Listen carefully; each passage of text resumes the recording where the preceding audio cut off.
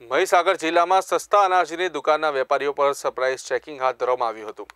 સતત બીજા દિવસે પણ સરપ્રાઇઝ ચેકિંગ યથાવત રહ્યું હતું. જિલ્લા પુરવઠા અધિકારી દ્વારા બંધ કવરમાં દુકાનના નામવાળી દુકાન પર હાલ તપાસ ચાલી રહી છે. મહીસાગર જિલ્લા પુરવઠા અધિકારી દ્વારા લુણાવાડા નગરની એક દુકાનમાં સરપ્રાઇઝ ચેકિંગ કરવામાં આવ્યું હતું. બાલાસિનોર મામલતદાર, કડાણા મામલતદાર કચેરીના કર્મચારીઓને સાથે રાખીને સરપ્રાઇઝ ચેકિંગ ચાલી રહ્યું હતું.